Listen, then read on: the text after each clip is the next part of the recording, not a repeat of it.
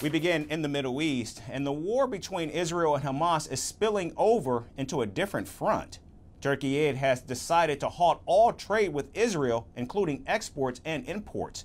Türkiye's Ministry of Trade says that measures will remain in place until Israel allows unrestricted humanitarian aid into Gaza. Beginning from yesterday, the trade halt against Israel, including import and export, will continue until a permanent ceasefire in Gaza is secured, as well as unhindered humanitarian aid flow to the region. Ankara has accused Israel of creating a humanitarian tragedy in the Gaza Strip by killing innocent Palestinians. Turkey has also confirmed that the trade will suspension will cover all products. Last year, trade between the two nations reached almost $7 billion. Turkey's three biggest imports from Israel include refined petroleum, scrap iron, and polymers. Meanwhile, Ankara's three biggest exports to Israel are raw iron bars, automobiles, and jewelry.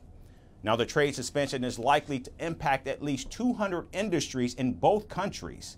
Israel has accused Turkey of breaking international regulations by suspending trade which is bound by government to government agreements.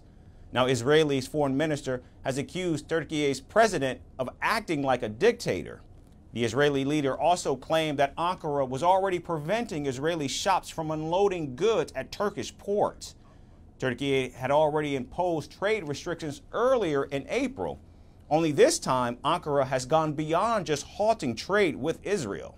Ankara has also signaled that it will formally support South Africa's genocide case against Israel at the International Court of Justice. Today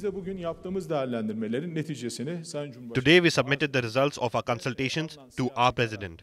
And according to the political decision which was taken, I want to mention it for the first time here. We decided to join the court case submitted by South Africa against Israel in the International Court of Justice. With this step, we expect the process in the International Court of Justice to proceed in a right way.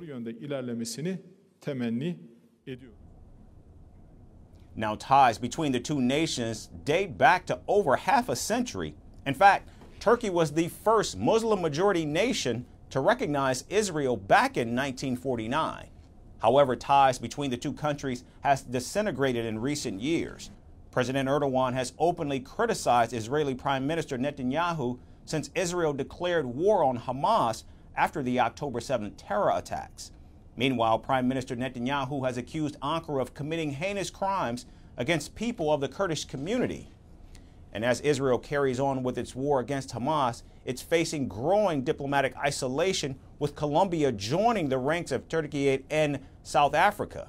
Colombia has announced that it will cut all diplomatic ties with Israel for the killing of over 34,000 Palestinian civilians.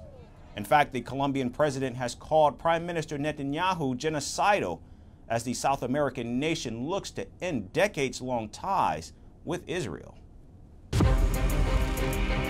From impeachments to inaugurations, if it's a political story, we are on the scene.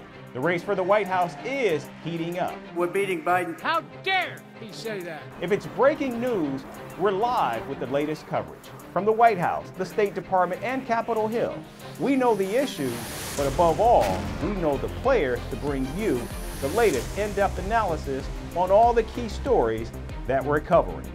I'm Eric Ham. Join me from Washington here on Firstpost America.